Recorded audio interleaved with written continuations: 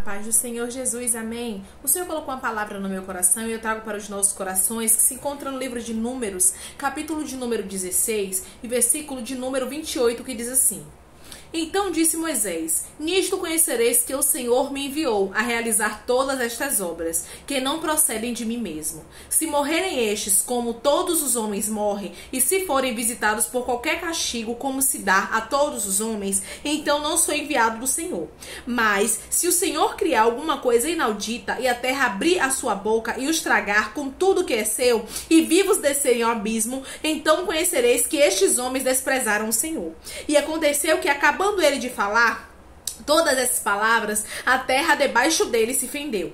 Abriu-se a boca e os tragou com as suas casas, como também todos os homens que pertenciam a Corá e todos os seus bens. Eles e todos os que lhe pertenciam desceram vivos ao abismo. A terra os cobriu e pereceram do meio da congregação.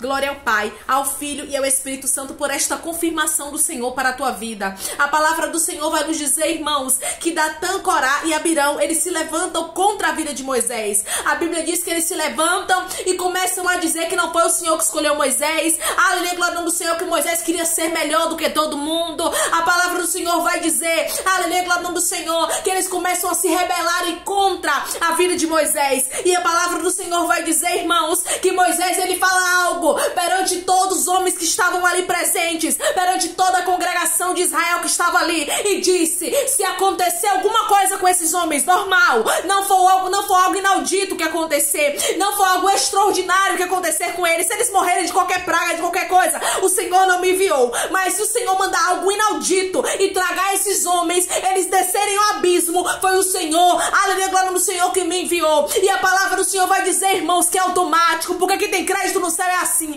O Senhor, aleluia, faz justiça automaticamente. Eu quero profetizar na tua vida a justiça de Deus de uma forma tremenda, a justiça de Deus de uma forma poderosa. Pois é, sabe por quê? Porque a palavra do Senhor vai dizer dizer que Moisés estava sofrendo injustiça, estava sofrendo perseguição, talvez saindo do outro lado passando por uma grande adversidade, passando por, por grandes injustiças, por grandes calúnias, coisas que você não fez, coisas que você não falou. Tem pessoas se levantando contra você, mas Deus me trouxe aqui para te dizer que Ele é o Deus que faz justiça pela vida de Moisés e Ele também fará pela tua.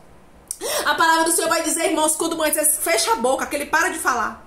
A Bíblia diz que o chão se abre. Aleluia! E a Bíblia diz que, aleluia, um abismo. Como se fosse um buraco, abismo, tragou tudo. Aleluia, aqueles homens e eles vivos desceram o abismo. A Bíblia diz que perante todo mundo, e Deus está dizendo para você a justiça. A justiça que eu farei não será escondida, será para todo mundo ver mesmo e saber. E saber que eu sou na tua vida. E saber que você não brinca de ser servo meu e saber que você não serve um Deus de brinquedo, você é um Deus de verdade, um Deus que vê todas as coisas, pesa todas as coisas na balança. Você orou a Deus e disse: Deus, você falou com o Senhor, você começou com, com o mestre e você disse: Deus. Até quando eu vou passar essa injustiça?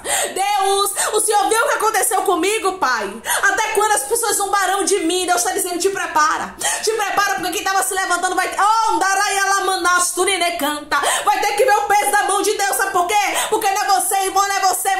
vai fazer nada. Não é você que vai se levantar para tirar pergunta, não. Não é você que vai criar nada, não é você que vai fazer mal nenhum. É Deus, é Deus que vai tratar com Datã, Coré e Abirão.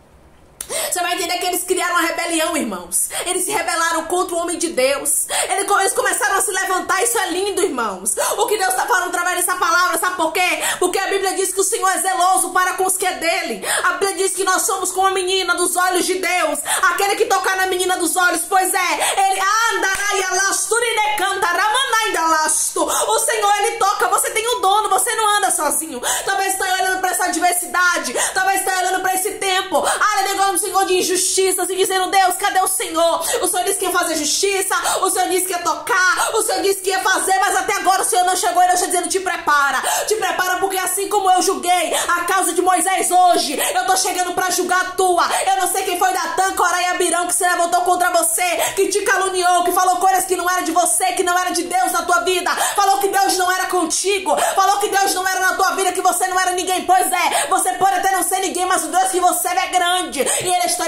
essa causa na palma da minha mão. Você vai entender, irmãos, que Moisés não ficou envergonhado. Quando Moisés se cala, irmãos, o chão traga esses homens. Ei, deixa eu te falar uma coisa: o mal por si só se destrói. O mal ele se destrói sozinho. Ei, Moisés não nada. Você não precisa falar, você não precisa brigar, você não precisa murmurar, você não precisa blasfemar, não precisa fazer nada. Você só precisa entregar na mão do Senhor. E ele está dizendo: já peguei hoje, se tu crê, hoje o Deus de Israel pega a causa que entregou na mão dele. Ele pega e faz justiça. Eu não sei quem foi. Ah, que se levantou contra você, que achou que você andava só. Porque tem pessoas, irmãos, que olham pra gente e pensa que nós andamos sozinhos. Pensa que nós, aleluia, glória Senhor, andamos pelo mundo errante. E não é assim, não. Nós temos um dono, nós temos um Deus a qual, aleluia, glória no Senhor, julga a nossa causa. Um Deus que ele não chega atrasado, ele chega no momento certo e ele faz justiça. Deixa eu ler para você o que aconteceu aqui, para você entender. Versículo de número 32 diz assim: Abriu a boca e os tragou com as suas casas, como também todos os homens que pertenciam a Corá e todos os seus bens. Eles e todos os que lhe pertenciam desceram vivos ao abismo. A, e, e, perdão, e a terra os cobriu e, e pereceram do meio da congregação. Vocês vão perceber, irmãos, que eles pereceram. Eles pereceram, sabe por quê? Porque quem estava certo era Moisés. E Deus está dizendo para você: Eu sei que você está andando certo. Eu tenho uma balança que é justa. Eu tenho uma balança, aleluia, glória nome do Senhor, que não erra, não. Eu sei quem é culpado e sei quem é inocente. E a cobrança do Senhor está chegando. O Senhor está dizendo para alguém: A minha cobrança, o meu tempo de cobrar, Anacanta Ramanai, Dalasturineia Ramanai. Eu chegando aí para mostrar que você não anda sozinho. Que você não anda sozinho porque você tem um dono. Porque tem pessoas que pensam que você não tem dono.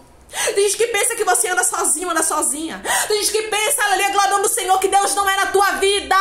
Porque mexeu contigo e não viu nada acontecer ainda. Mas Deus está dizendo, a minha cobrança é chegada.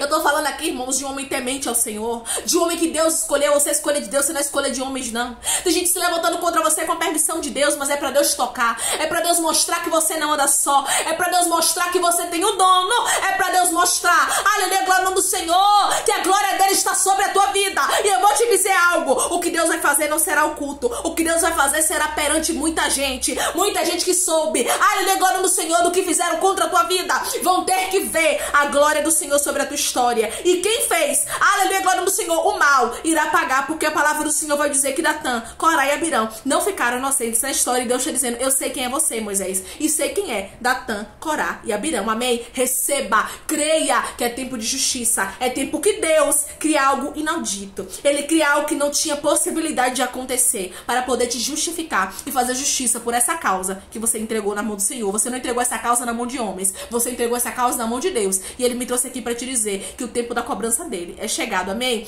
Vamos orar? Glória ao Pai, ao Filho e ao Espírito Santo do Senhor por esta palavra. Aleluia! Maravilhoso Deus, soberano eterno Pai, aqui estamos, Pai amado, Pai santo e Pai querido, para te agradecer. Deus, obrigada, Senhor.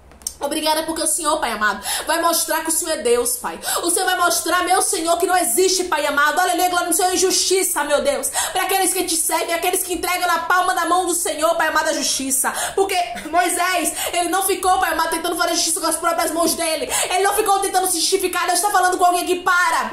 Para de tentar se justificar. Para de tentar mostrar que você não tem culpa. Para, porque não é você que vai mostrar. É Deus que vai julgar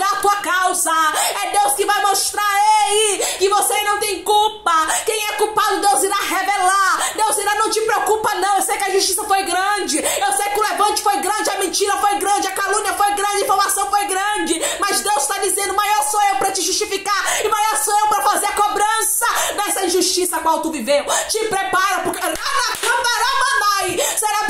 teus olhos o que Deus fará. Aleluia, a justiça, a justiça que Deus fará será perante os teus olhos e tu contemplarás e verás aqueles que se levantaram contra o projeto do Senhor. Pai, obrigada por esta palavra, Pai. Obrigada, Deus, obrigada por esse ministério, obrigada por essas pessoas que me escutam. Gratidão, Pai amado, porque o Senhor é fiel para falar com cada um e responder, porque eu sei que você quer resposta do Senhor para alguém. Eu sei que a tua palavra, Pai amado, o Senhor está respondendo. Está respondendo questionamentos, respondendo tristezas, Pai amado. Adversidades que meu irmão e minha irmã têm passado, o Senhor está respondendo hoje. Obrigada, Senhor. Guarda teu povo, livre, protege. Toma cada pedido de oração, papai. Nos comentários, eu não conheço a necessidade, paizinho. Mas eu sou Deus que sabe, sonda e conhece. Gratidão, Jesus. Gratidão porque eu sei que o Senhor está vencendo agora pedido de oração. Gratidão pelos testemunhos contados. Gratidão pelas bênçãos, Pai amado, que o Senhor vai entregar pela justiça. Gratidão, através da tua justiça. Obrigada, Senhor. Obrigada porque a fé do meu irmão e da minha irmã será fortalecida através da justiça do Senhor, da justiça que o Senhor vai fazer. Deus, obrigada. Abençoa o teu povo. Nos guarda, nos livre, nos protege debaixo da sombra do Onipotente. Continua cuidando de nós, Pai. Por o Senhor, nosso pastor, nosso pai, nosso amigo, nosso ajudador. E nada nos faltará, Pai. Se o Senhor é por nós, Senhor, quem nesse mundo será contra nós? Ninguém, Pai. Nos cobre com teu sangue. Assim eu te peço e te agradeço em nome do Pai, do Filho e do Espírito Santo. Amém. Amém. Que Deus te abençoe grandemente. Não esqueça, não existe lugar melhor para se estar do que na presença do Mestre. Que Deus te abençoe.